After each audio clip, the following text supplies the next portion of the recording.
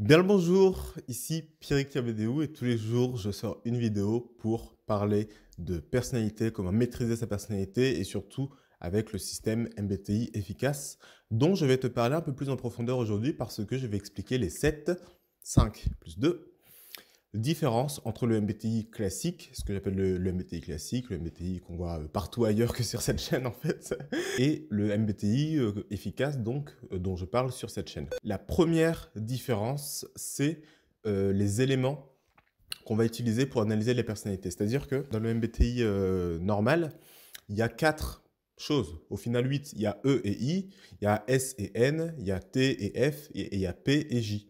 C'est tout. C'est pour ça qu'il y a 16 personnalités. Avec les, 4, enfin, avec les 8 lettres là, tu peux les combiner, etc. Ça fait 16 euh, personnalités. Donc. Tandis que nous, on ne se sert jamais en réalité de ces 4 lettres là. On s'en sert par convention, mais en réalité, jamais on va se demander est-ce que quelqu'un est euh, extraverti ou introverti. On va se demander est-ce que c'est un intuitif ou un sensitif.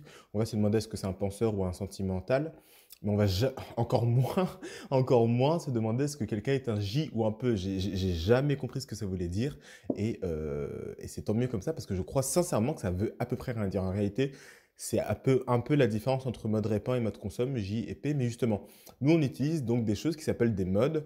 Euh, donc on en a quatre. Il y a le mode consomme, le mode jeu, le mode sommeil, le mode répand. Euh, on, utilise aussi quelque chose qui s'appelle les besoins humains, donc OI, OE, DI, DE. On va aussi utiliser quelque chose qui s'appelle euh, les sexualités des fonctions, qui va faire que chaque fonction va avoir en fait une énergie sexuelle, etc., etc. Et du coup, en fait, il y a plein d'éléments qu'on utilise ici qu'on n'utilise pas dans le MBTI classique. La deuxième différence, donc, c'est que je n'arrive pas à lire ce que j'ai écrit sur mes notes qui sont accrochées à la...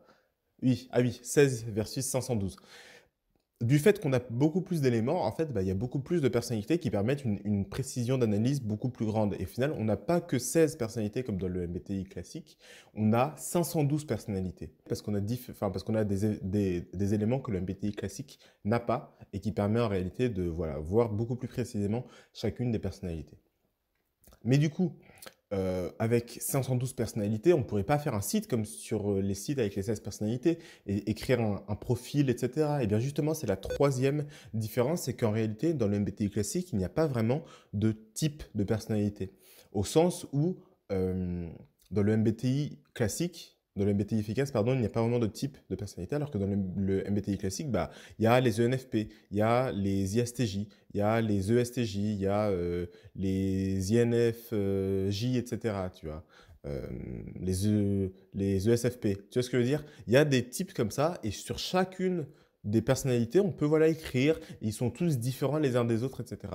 Nous, en réalité, avec les 512 là, on pourrait pas faire un truc qui serait euh, enfin, ça serait pas pertinent de faire 512 profils différents parce qu'en réalité, il n'y a pas vraiment donc un type, mais il y a en fait une compilation de différents éléments qui fait que tu vas avoir la personnalité là. Et c'est pour ça qu'il y en a donc autant. C'est pour ça, enfin, je les ai mis dans cet ordre-là parce que c'est lié. On en a beaucoup plus et du coup, il n'y a pas vraiment de type à proprement parler. On va parfois parler de NTP, mais en réalité, un ENTP, c'est quelqu'un qui a NE tout en haut et qui a FI et euh, pardon euh, TI et TE au milieu. Et des ENTP, il y en a 64 ou, 32 versions différentes. Il y a 32 versions de, de, NTP différentes en fait. Et pour chacun des types, il y a 32 versions différentes. Il y a 32 types d'INFJ, il y a 32 types d'INFP, il y a 32 types de STJ, il y a 32 types des 16 types. C'est pour ça que ça fait 512 d'ailleurs. Euh, donc, donc voilà, il n'y a pas vraiment de type, mais on va parler de un euh, féminin masculin, euh, TE, NI, répand, sommeil, consomme, pas de mode jeu. OK? Et ça, dans le MBTI classique, ça s'appellerait juste le type ENTJ. Nous, c'est pas vraiment juste le type ENTJ, c'est tous les éléments, chacun des mots que je viens de dire, c'est un élément qui constitue du coup une personnalité. On ne marche pas vraiment euh, avec des types euh, différents, etc. On ne pourrait pas vraiment voilà, faire des mêmes euh, sur chacun des types de personnalités, tu vois. Alors que dans le MBTI classique, avec les 16 personnalités, on peut faire des mêmes sur chacun des types parce que ce sont des catégories qui sont beaucoup plus grosses, beaucoup plus caricaturables.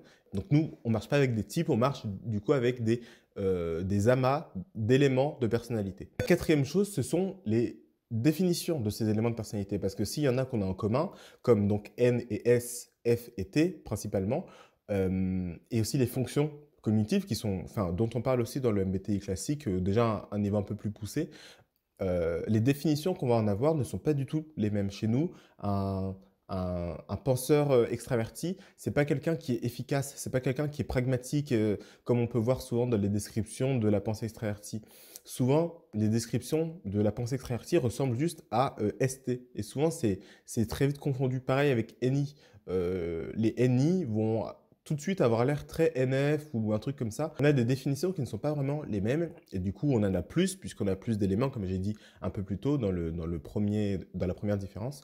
Et euh, du coup voilà, les définitions ne sont pas les mêmes. C'est pour ça que des fois quand on type quelqu'un, quand je vais donner le type de quelqu'un, euh, les gens ne vont pas comprendre comment est-ce qu'une telle personne peut avoir cette personnalité-là, parce que pour nous, un INFP, ça ne veut pas vraiment dire la même chose.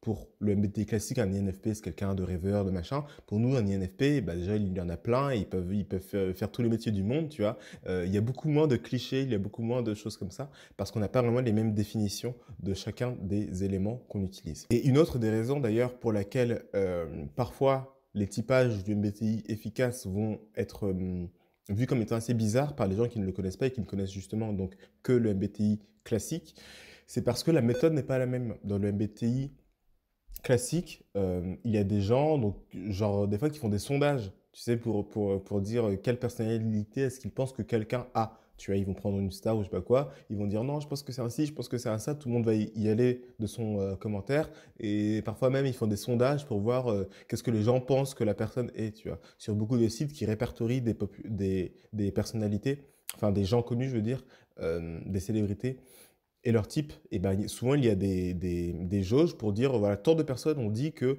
euh, Robert Denis Jr. est un ENTP. Tant de personnes ont dit que, euh, que, Tom Cruise est un ESTP ou je sais pas quoi, tu vois. Alors que nous, on a une méthode euh, qui est basée justement sur, sur les dichotomies à chaque fois de chaque élément. C'est soit l'un, soit l'autre, soit ci, soit ça, soit ci, soit ça. Et on finit à la fin par avoir donc un résultat parce qu'on va avoir analysé chaque élément euh, indépendamment. On ne va pas juste donner un type, comme j'ai dit un peu plus tôt. Chez nous, il n'y a pas de test, en fait, il y a des typages. Euh, jamais on va donner voilà, des questions. Est-ce que tu es plutôt comme ci ou comme ça? Et la elle va.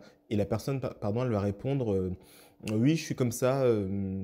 soit, soit oui ou non, soit des fois il y a, il y a des jauges sur, sur certains sites qui permettent de dire est-ce qu'on est plus ou moins d'accord avec la question ou avec l'affirmation en tout cas, est-ce que ça nous correspond selon nous beaucoup ou pas du tout euh, etc. Nous, c'est pas du tout comme ça qu'on marche. Donc vraiment, la méthode n'est pas du tout la même dans le MBTI efficace et dans le MBTI classique. Euh, la sixième différence, c'est la profondeur. Parce que dans le MBTI classique, euh, souvent, c'est super intéressant et souvent quand on découvre ça, on se dit mais incroyable, etc. Mais déjà, si on commence, comme j'ai dit, donc à avoir besoin de fonctions cognitives, déjà dans le MBTI classique, c'est parce qu'on voit bien que un, un, INTJ, ça veut rien dire en fait. Comment ça, introverti? Il y a des gens qui sont introvertis, mais pas tout le temps. Il y a des gens bivertis, tu vois. Et il y a des gens, enfin, aussi sur, sur certains sites qui vont donner un pourcentage pour chaque lettre. Quand as 51% euh, euh, euh, intuition, est-ce que tu es le même euh, INTJ que quelqu'un d'autre qui va avoir 99% euh, intuition Tu vois ce que je veux dire? Pourtant, techniquement, les deux, c'est N. Déjà, du coup, les fonctions cognitives, par exemple, qui viennent donner un peu plus de profondeur. Mais du coup, dans la méthode classique, ça va beaucoup plus loin et ça va même au-delà des personnalités. Euh, ça, après, c'est souvent la personne qui va en parler, qui va ajouter ça, mais effectivement, comme on va beaucoup plus loin, on dépasse souvent un peu le cadre juste des personnalités, on rentre dans quelque chose qui se rapproche beaucoup plus de, pas de la spiritualité quand même, mais pas non plus du développement personnel, parce que le développement personnel a un peu une connotation euh, assez négative, même si moi je trouve ça très bien. Mais bon, il y a un côté comme ça qui est... Parce qu'en fait, ça explique tellement plus de choses, les analyses qu'on fait, qu'on fait pardon, sont tellement plus profondes et, parlent vraiment de la vraie personne, en fait. Au-delà de juste un test voilà, qu'on fait, et souvent, on va avoir un, résultat, et pour des gens, ça ne marche pas. Tu vois, il y a des gens qui vont pas se reconnaître dans le, dans le résultat qu'ils ont, etc. Parce que c'est pas, pas, pas aussi sérieux, c'est pas aussi profond, c'est pas aussi utile. Alors qu'avec le MBTI euh, efficace, on va tellement plus loin euh, on, analyse vraiment la, personnalité de la personne, mais euh, à un niveau au-delà de juste euh, quels sont ses hobbies, tu vois.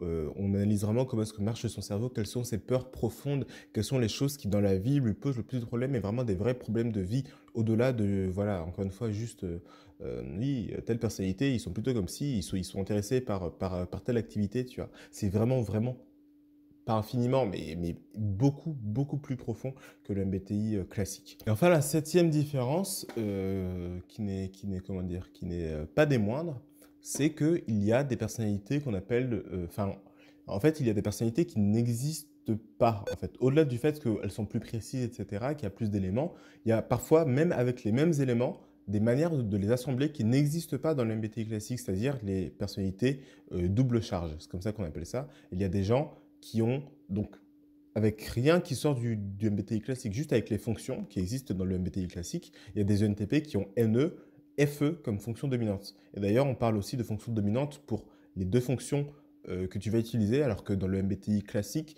une fonction dominante, c'est ta toute première fonction, après tu as ta fonction tertiaire, etc., euh, etc. Tu as. Il y a beaucoup de choses comme ça, même avec les éléments qui existent dans les deux systèmes, euh, les éléments-là ne sont pas agencés, ne sont pas associés de la même manière. voilà, prenez soin de vous, à très bientôt, salut